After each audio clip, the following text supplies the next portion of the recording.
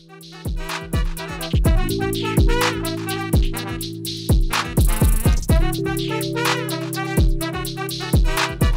guys, Montel here, and thanks so much for tuning into this edition of Free Thinking with Montel.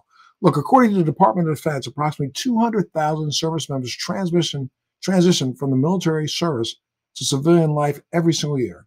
Some veterans may experience difficulty finding civilian employment after leaving the service, even though an overwhelming 94% of employees say that hiring a veteran worker is appealing to their organization.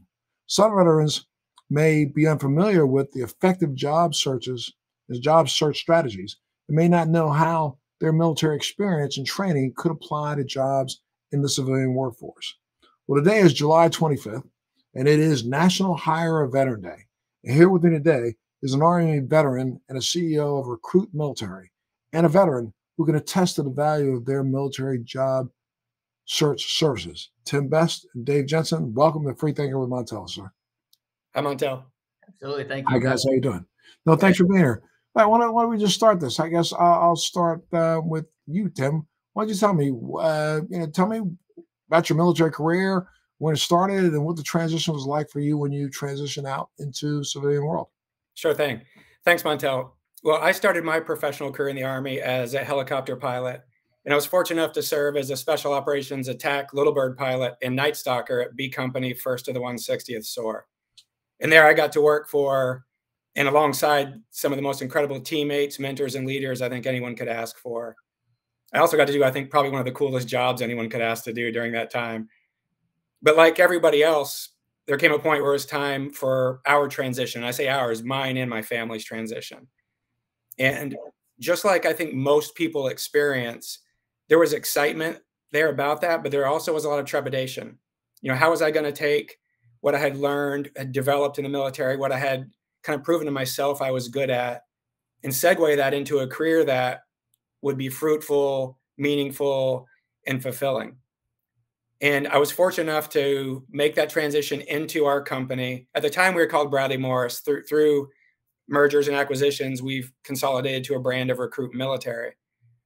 But for the past two decades, I've been able to wake up every morning and go to work with a team of people who are passionate about helping other transitioning service members and their families make that transition in an effective way and in a way that brings that kind of satisfaction and fulfillment. And I think, you know, my my family, my wife and I, we've raised three kids in Chesapeake, Virginia since then.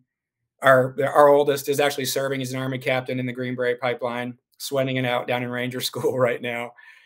But I think we'd summarize our story Montel as a really blessed veteran journey. You know, one where when the military background and experience was leveraged correctly and through the support of the right people and organizations. And so we feel really fortunate to have had this path that we've been on.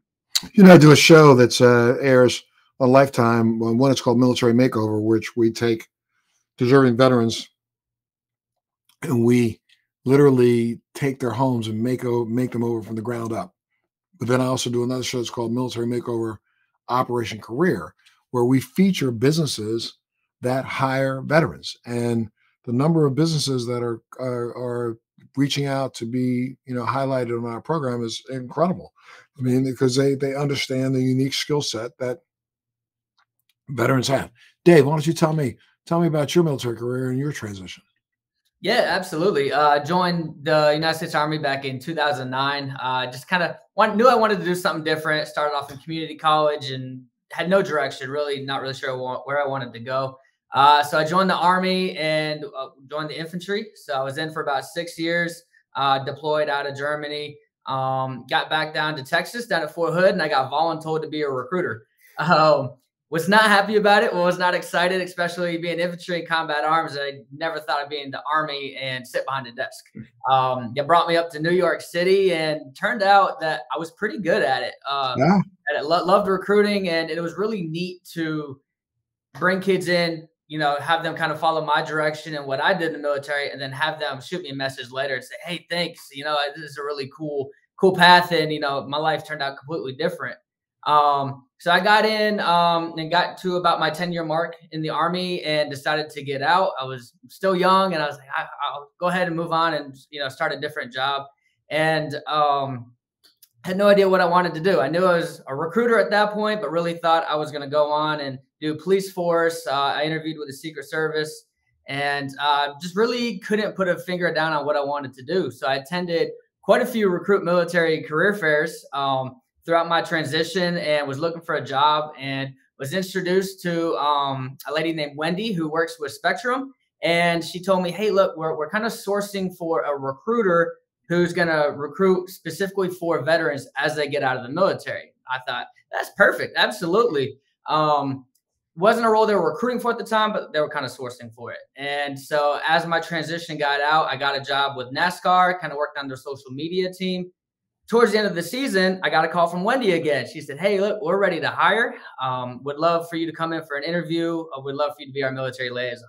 So I go in for the interview, and uh, they ended up going with somebody else and hired somebody else. I was devastated. I couldn't believe it. As much as they kind of played around with me about the position, um, so I moved on and really focused on my photography a little bit. And about six months later, Spectrum calls me back again. And they said, Hey, look, we're, we're looking to hire another military liaison. We'd love to bring you in. And my first thought was, well, you know, you kind of hired or interviewed me the first time and didn't give me the job. Turns out the person that they initially hired turns out to be my future boss. And uh, so now I work for him. And the thing that really resonated with them was when they turned me down for the position, uh, they loved how I followed up. I asked for advice. Um, they critiqued me. I used that um, and ended up moving on and worked for Spectrum as a military liaison. Little did I know I'd be back at Recruit Military um, at their career fairs hiring veterans. So, um, kind of well, I mean, Tim, let's talk a little bit about this because there's a lot of veterans out there right now that think that, oh, I got to get a job working some way, shape, or form tangentially with the military. And that's not necessarily true. We can take your skills that you've learned in the military and apply them to thousands of different uh, verticals, correct?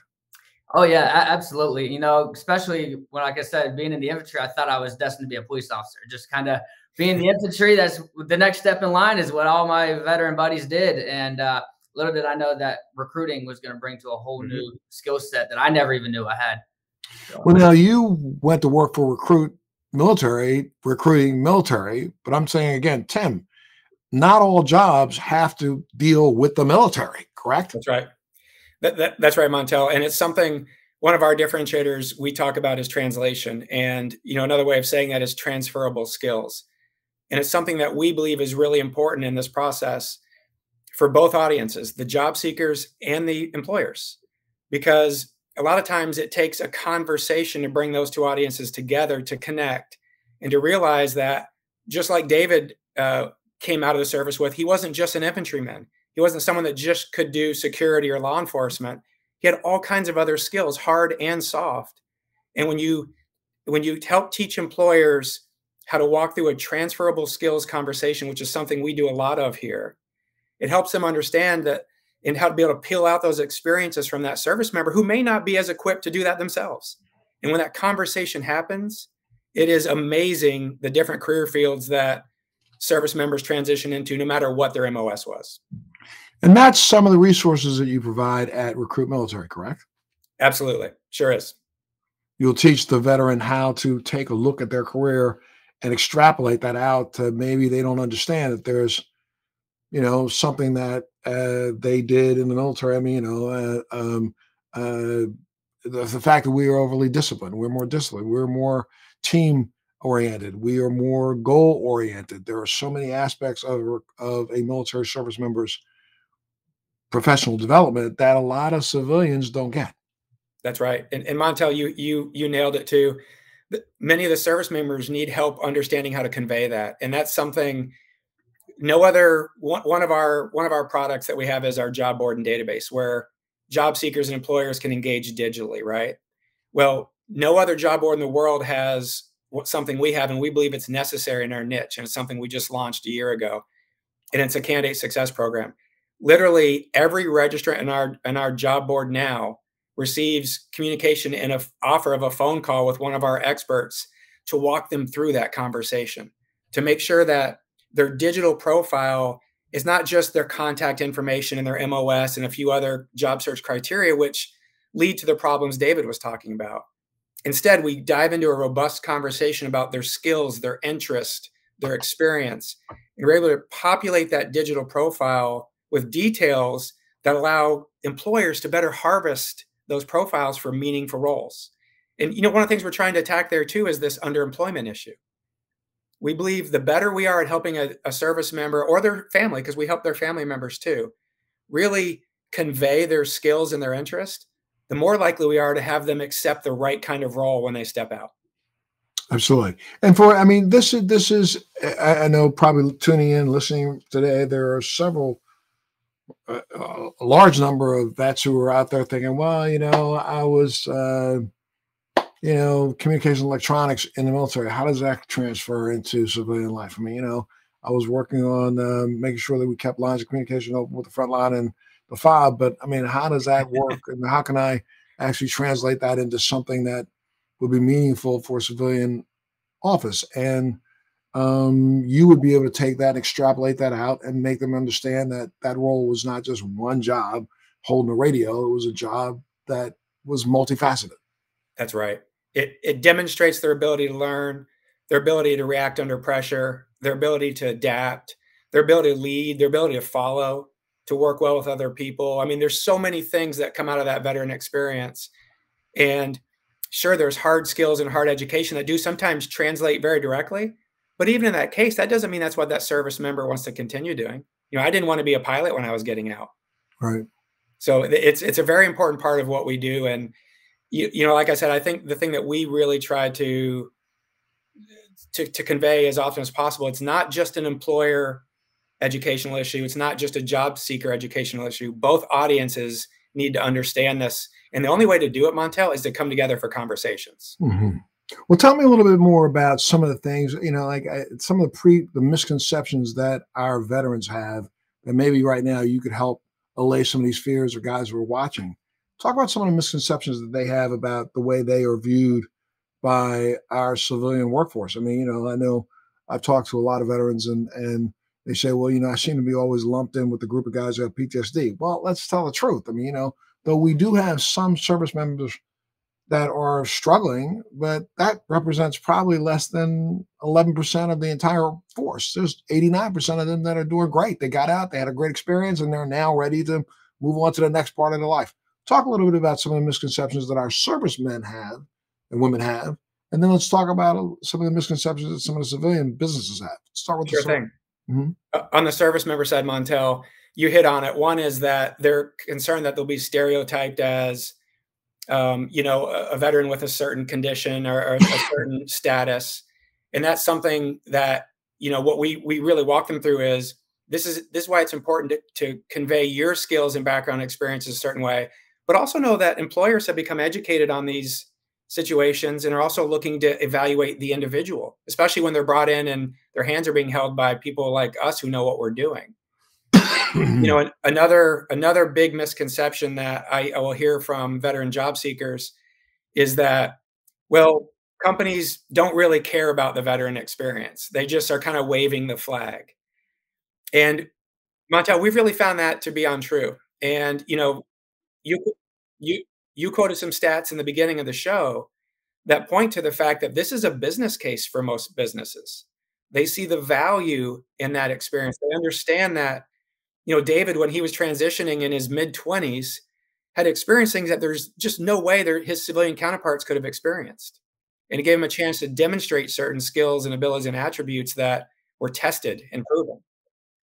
You know, so that's a common. And then the last one I'd say, Montel, is that there, there's there you definitely will hear commonly that there's this sense that they want to put me in a box based on what my MOS was. You know, as we mentioned earlier, that uh, you know I was an infantryman. All I can do is carry a weapon. I was a pilot. All I can do is fly. And again, we really believe in being kind of truth tellers with our job seekers. Our message to them is that's up to you. You're the one that gets a chance to put together your resume, your profile, your pitch about yourself, your networking opportunities. And, you know, garbage in is garbage out. And so, you know, we really try to educate them on those those three areas. Well, you know, I mean, uh, you hit on one thing, and that is, and I and I'm I don't say this in any way, shape, or form to disparage the general population, but we're living in a time right now where, you know, we got more people walking away from their employment than we've seen in this. It's like the great quit generation. I don't get it. I don't understand it. And then, you know, I'm not knocking people who want to make a decision about, you know, where they are and transition in their own lives, but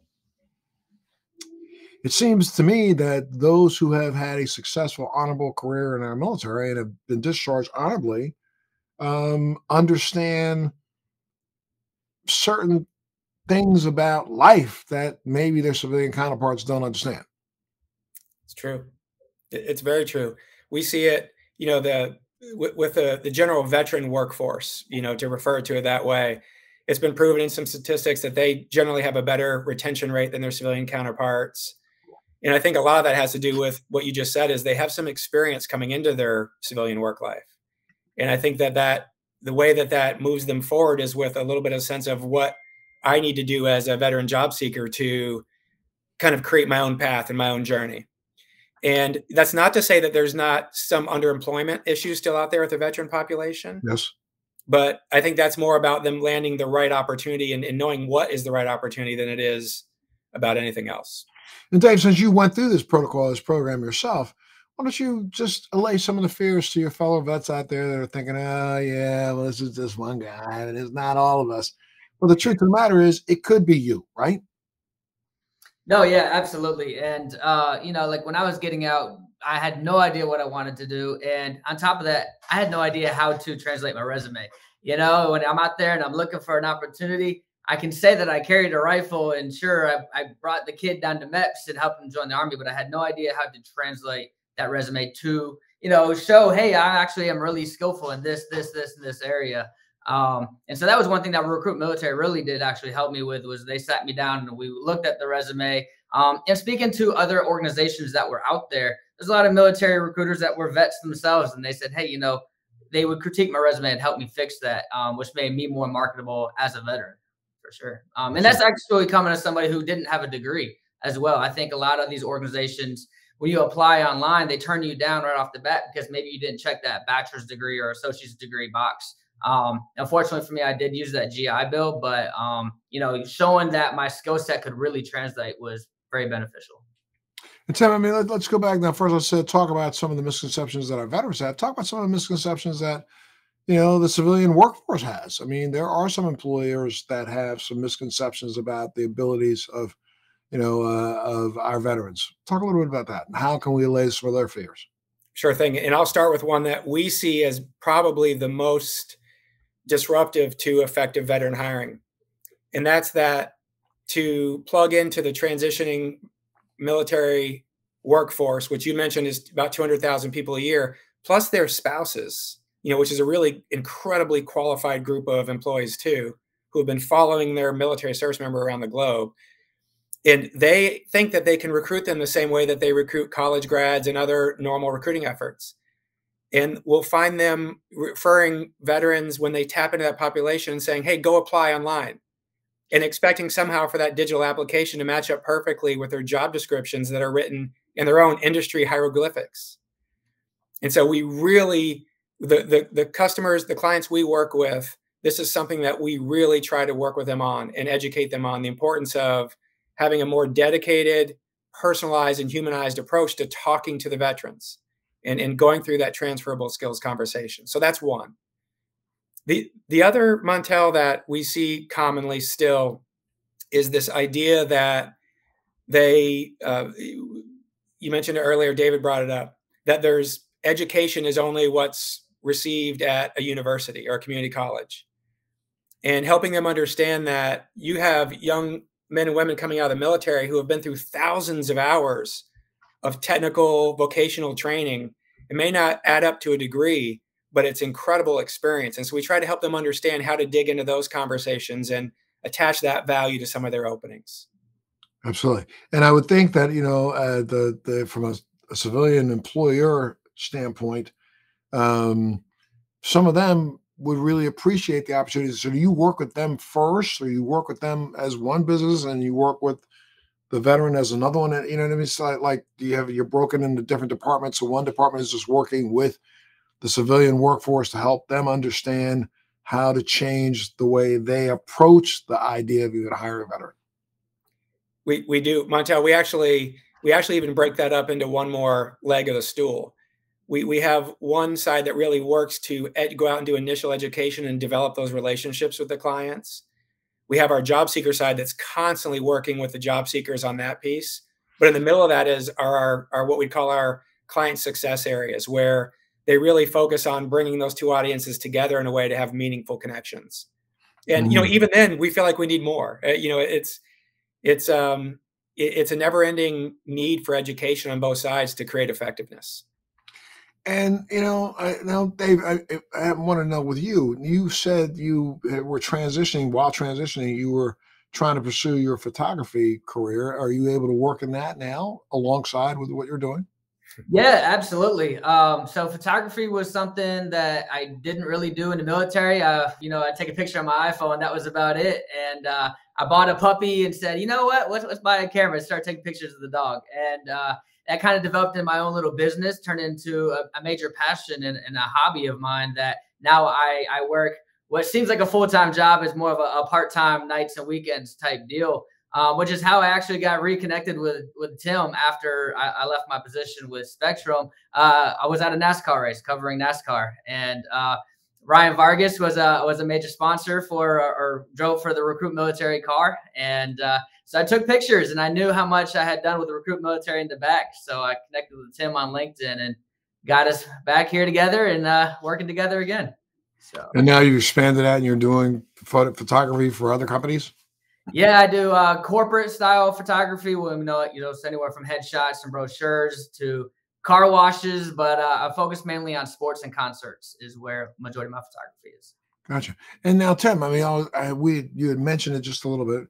Retention, and I mentioned it also. Retention is a big problem right now in our nation when it comes to holding on employees. Talk about the difference in our vets because our vets seem to once they they get recruited and start working for a company, they are pretty loyal, are they not? They are, Montel. And, and I, I wrote an article about this in our, our publication called Search and Employ uh, last year. And it was basically about the idea that there, there's another benefit to having a veteran recruiting program is when you bring veterans into your organization in an organized way, they can impact your culture in ways you couldn't have imagined when you think about the esprit de corps and the things we learn in the military, a lot of companies need, could really use that infusion of energy and positivity and enthusiasm. And it comes in in a way that uh, helps with retention. And and the other overall. thing overall, and then the thing that I see that helps.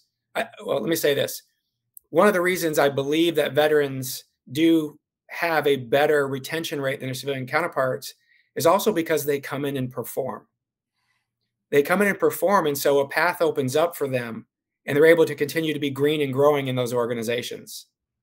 I had a i have a, hmm. a friend tell me or i shouldn't say tell me he's always compelling me. He's he said tim recruit military should do a case study on your org chart. You know you look at our org chart and you know we're a good sized company and virtually every every level in our organization is being led by someone who came from the military without any experience in that area. Technology. We have marketing experts sales experts recruiting experts you know and it's just an incredible thing to see on our own org chart. That's really great. And i mean now i mean how many how many recruit or how many, how many veterans does do, do you work with on a regular basis? Well it depends what service we're talking about montel. To, to sum it up we've served over 2 million veterans and their families through our ecosystem. On, a, on an annual basis, we'll serve thousands of veterans through our recruiting service. We'll have about 50,000 registrants at our career fairs around the country, that many registering into our ecosystem each year.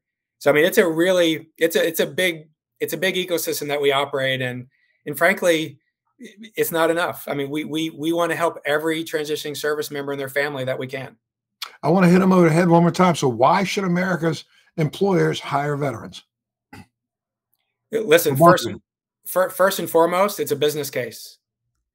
First and foremost, veterans bring skills and experiences that are going to make your team, your company, your organization better. Period. Yeah, so. absolutely. Just to piggyback off that, you know, there's there's an untapped network that's out there, and there are just unmatched skills that a veteran can bring. Whether it's personality size, you know, so we talk about your hard skills and soft skills. There's so much that a veteran can bring that um, can change your non-veterans within your organization as well. Absolutely, and and let's talk a little bit about that just for a second. I mean, have you seen in your recruitment efforts that you know does does does a bond start to exist between the non-veteran civilian employee and the civilian employee? Or the and the veteran? I've seen that in uh in quite a few organizations that i've been in um especially with my my last company. So many of the veterans that would bond with non-veterans because it's just a very unique story like most people will go to college then they'll go into the corporate america or whatever industry they decide and uh, that's the same story for every employee, but to talk to a veteran and hear that different path that they took to get in there, um, there's a lot of unique um, backgrounds, and that's what really bonds everybody is the uniqueness. Mm-hmm. Any final thoughts, Tim? Yeah, but my final thought, Montel, would be, I think if if we were looking for perfection in this conversation around this topic, you know, at companies being perfect at attracting the right military community job seekers and military community job seekers being perfect at finding the right jobs, it would come down to conversations. It come down to putting the right work in to present each each audience's story and background correctly, and then to make sure that we have um, the right conversations happening to bring out those skills and conversations. Well, again, today is you know National Hire a Veteran Day, and I'm hoping that people you know, they tune in and, and they they pay attention to the fact that you know our veterans do have a unique set of skills that can do nothing but enhance your business. And so I'm hoping that we recognize and reach out and hire a vet today. Thank you so much, gentlemen, for being a part of Free Thinking with Montel today. Um, you know, we're going to keep this up and keep this going, and I will continue to, you know, promote the hiring of veterans as much as I possibly can. And thank you so much for what you're doing. Thank you, Montel. Really, thank you. Thanks, David. Thank you. You guys have a great day. You too. Yeah. Hey, make sure you tune in to the next Free Thinking with Montel. Thanks for joining me on Free Thinking with Montel. Please make sure you're subscribed and hit the bell to be notified when new episodes post each week. We'd love to hear feedback, so please send us your comments. Thank you.